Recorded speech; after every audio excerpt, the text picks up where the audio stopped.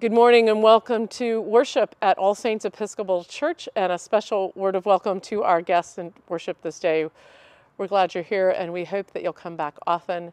You can learn more about the ministry of All Saints at allsaintsconcord.org. Our worship is from the Episcopal Book of Common Prayer and is found in the liturgy that accompanies this post. We will begin today by hearing from one of our own, Jack Jones.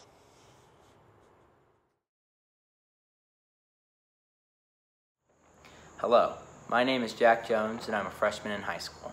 I like to participate in activities such as swim, soccer, golf, basketball, hunting, playing video games, and much more.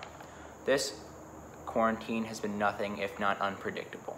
Most of our travel slash summer plans were canceled, not saying I didn't enjoy my summer.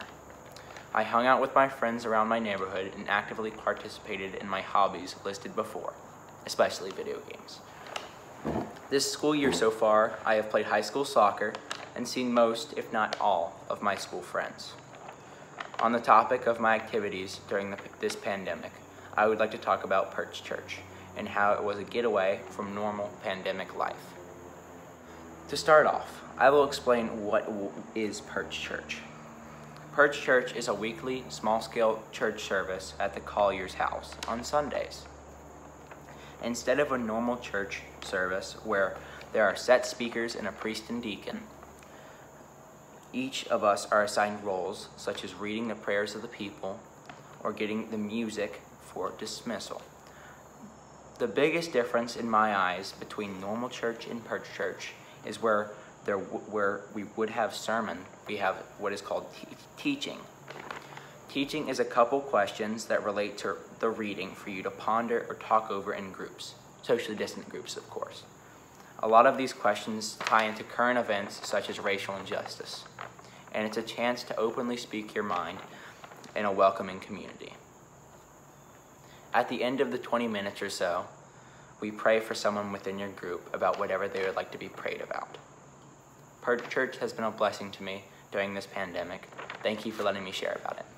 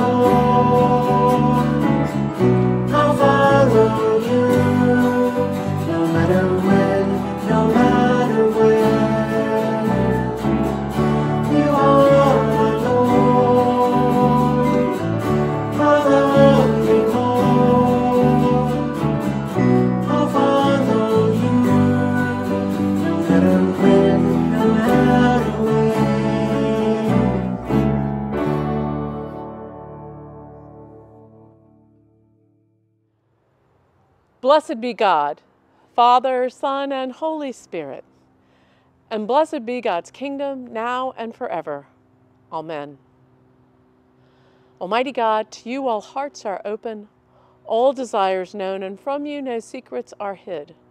Cleanse the thoughts of our hearts by the inspiration of your Holy Spirit, that we may perfectly love you and worthily magnify your holy name through Christ our Lord. Amen.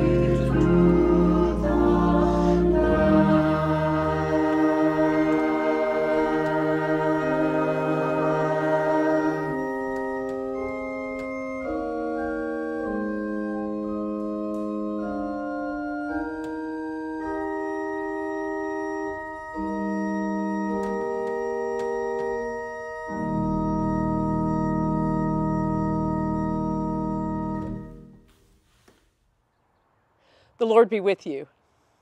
Let us pray.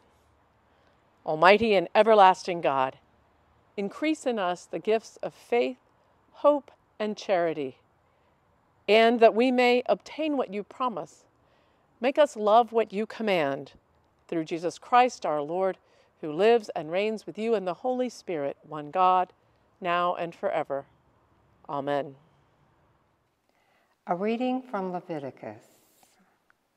The Lord spoke to Moses, saying, Speak to all the congregation of the people of Israel, and say to them, You shall be holy, for I, the Lord your God, am holy. You shall not render an unjust judgment.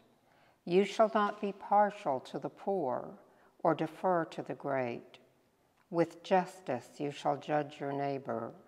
You shall not go around as a slanderer among your people and you shall not profit by the blood of your neighbor.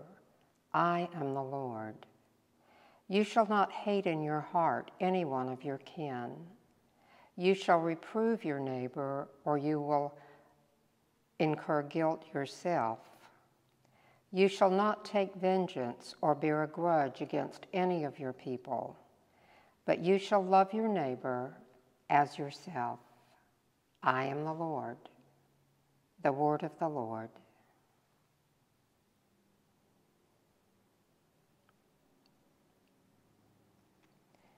Let us read together the portion of Psalm 1.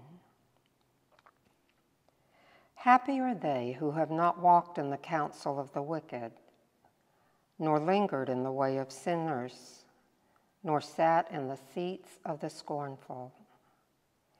Their delight is in the law of the Lord, and they meditate on his law day and night. They are like trees planted by streams of water, bearing fruit in due season, with leaves that do not wither. Everything they do shall prosper. It is not so with the wicked. They are like chaff which the wind blows away. Therefore, the wicked shall not stand upright when judgment comes, nor the sinner in the counsel of the righteous. For the Lord knows the way of the righteous, but the way of the wicked is doomed. The Holy Gospel of our Lord Jesus Christ according to Matthew. When the Pharisees heard that Jesus had silenced the Sadducees, they gathered together, and one of them, a lawyer, asked him a question to test him Teacher, which commandment in the law is the greatest? He said to him, You shall love the Lord with your God with all your heart with all your soul and with all your mind. This is the greatest and first commandment. And a second is like it you shall love your neighbor as yourself. On these two commandments hang all the law and the prophets. Now, while the Pharisees were gathered together, Jesus asked them this question What do you think of the Messiah? Whose son is he? They said to him, The son of David.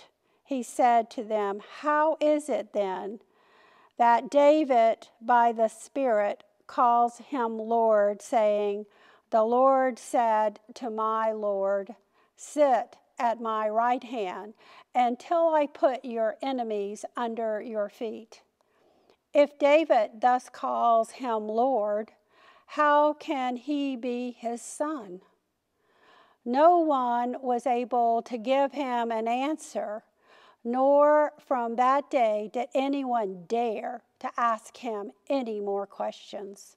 The Gospel of the Lord.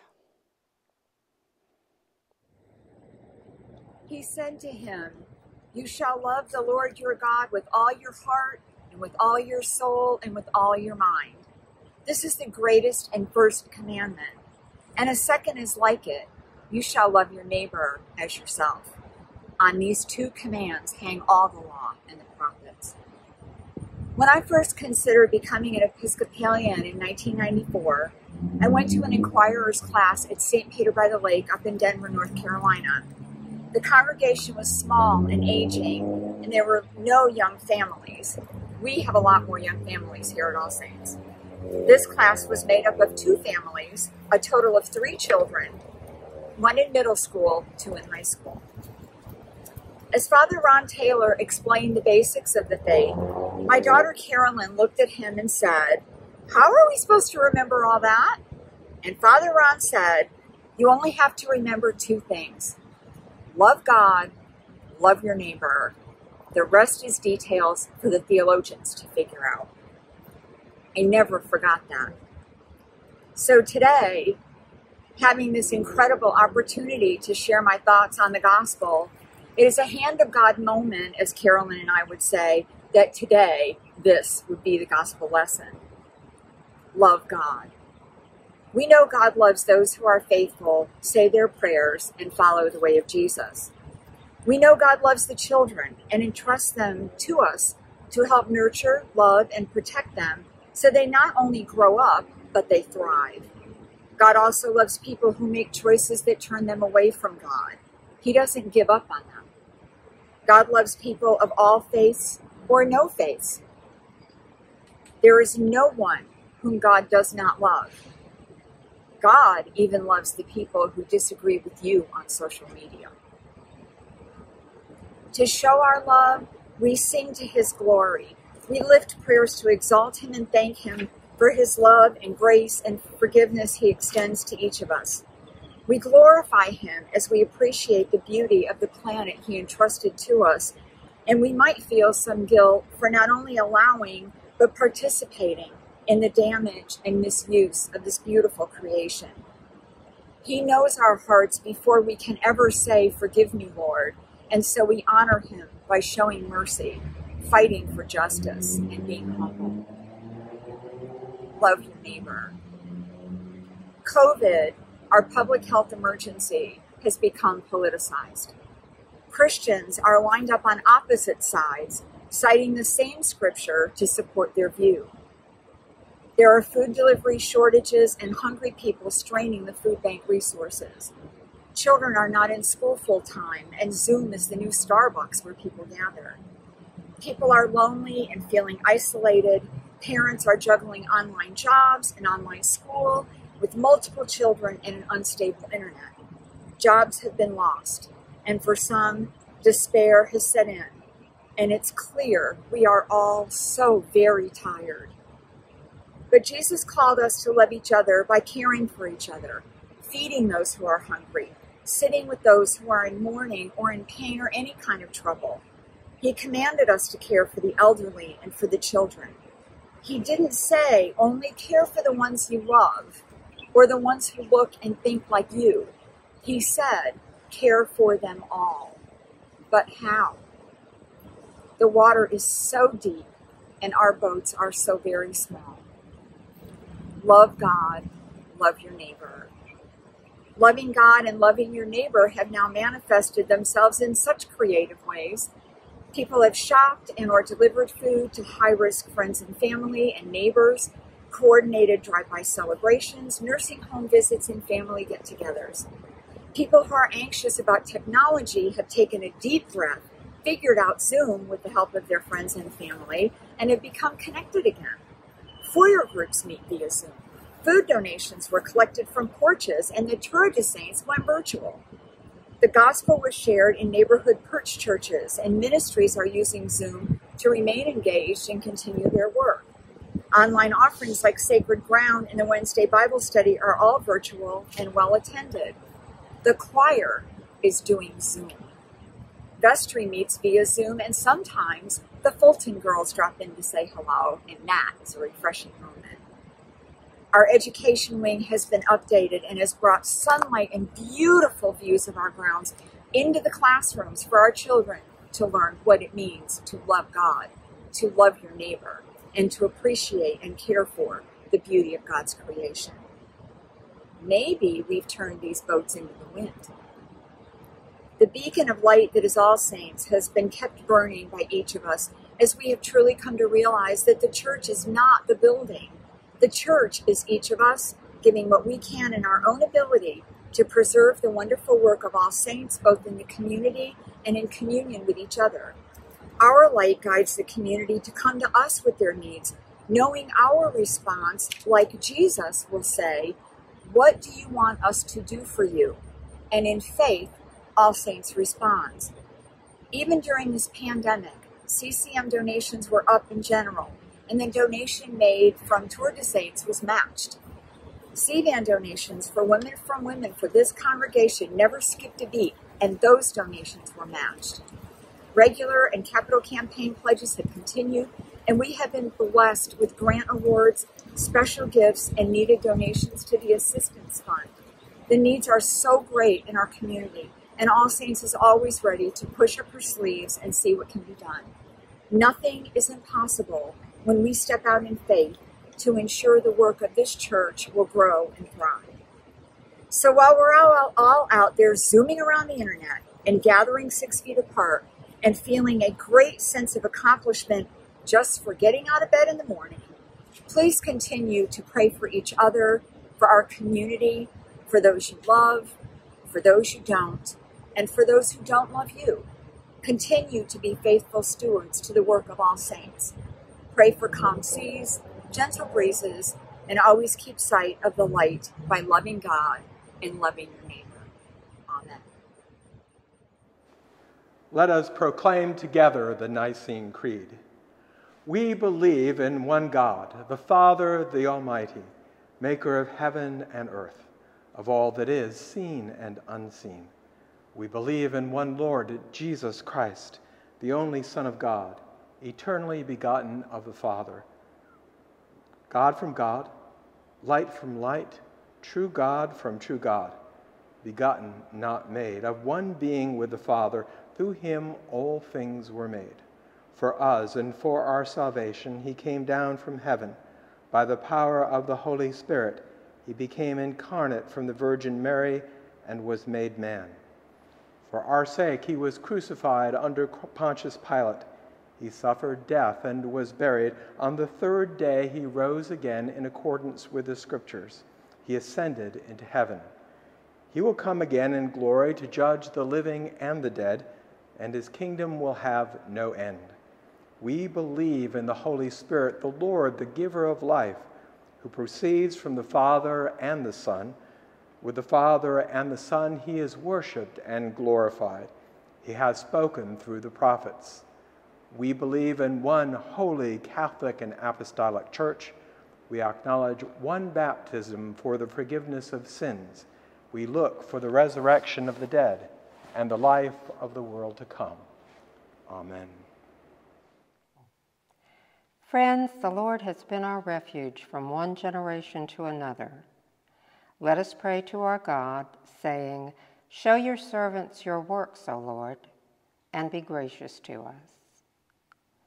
We pray for the leaders of the church. Give bishops, priests, deacons, and lay leaders gentle and loving hearts. Empower us to share the gospel and ourselves with those in need. Show your servants your works, O Lord, and be gracious to us. We pray for all humankind. Prosper the work of our hands. May all those who work earn a fair wage. May those without work find strength and encouragement in your love. Give us hearts to respect the dignity of every human being. Show your servants your works, O Lord, and be gracious to us. We pray for all creation. You brought forth the mountains, you gave birth to the land and the earth. Give us the desire and will to care for all you have made. Show your servants to work your works, O Lord and be gracious to us. We pray for the areas in which we live. O God, we want to obey what you command. Help us to love our neighbors as ourselves. Show your servants your works, O Lord, and be gracious to us. We pray for the afflicted and the suffering, and we pray for those who weep and mourn. Nurse them back to health as a mother tenderly nurses her children. Please add your own petitions and thanksgivings.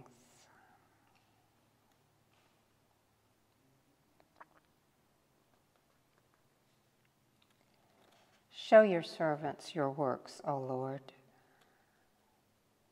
and be gracious to us. We pray for those who have died. Though we are swept away like a dream in this mortal life, you promise to raise us to life immortal through your Son. May your graciousness, O Lord, be upon us. Show your servants your works, O Lord, and be gracious to us. Let us confess our sins against God and our neighbor.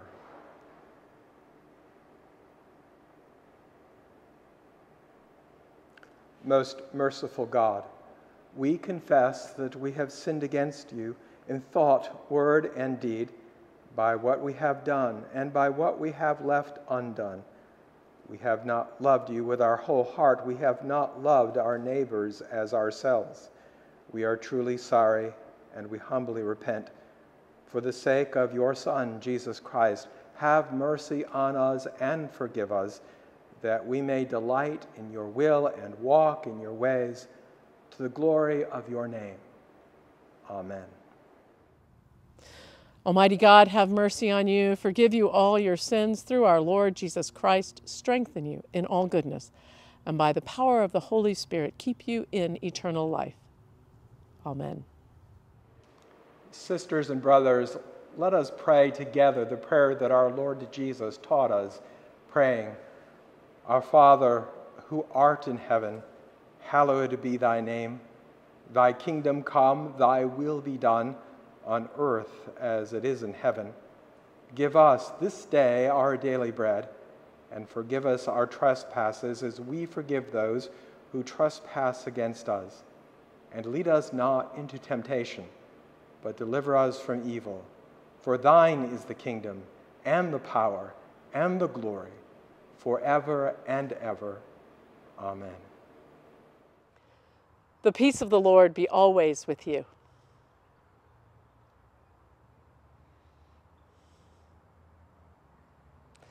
Be steadfast in faith, joyful in hope, and untiring in love all the days of your life.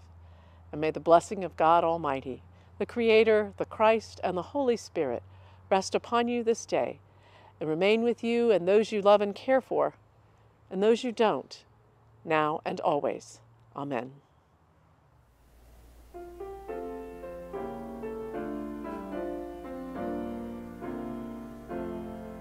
Will you come and follow me if I but call your name? Will you go where you don't know and never be the same? Will you let my love be shown? Will you let my name be known?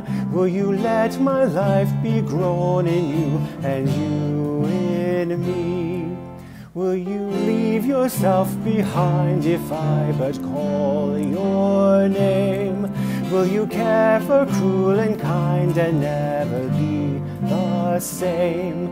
Will you risk the hostile stare? Should your life attract or scare? Will you let me answer prayer in you and you in me? Will you let the blinded see if I but call your name? Will you set the prisoners free and never be the same? Will you kiss the leper clean and do such as this unseen and admit to what I mean in you and you in me? Hello, I'm Don Foskey, and I want to talk to you about All Saints Thanksgiving Food Drive of Saturday, November 14th.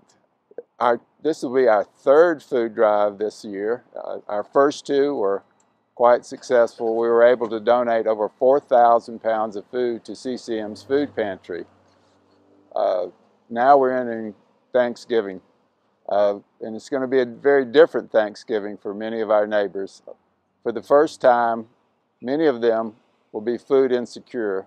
Imagine entering a time of celebration of God's abundance and not being able to be sure you can feed your family. Uh, so I'm asking for you to donate food generously as you've done in the past. Uh, there are two ways you can donate. As in our past food drives, you can uh, sign up online uh, using the link in the weekly word uh, simply place your food by your front door uh, before 9 on November 14th. That's Saturday, November 14th. Or you can uh, bring the food directly here to the parking lot at All Saints and make the donation in person. Either way, the food will get to the food pantry. So it's it's November 14th, Saturday, November the 14th. Uh, thank you for your consideration. Uh, your food donation will be a blessing to our neighbors.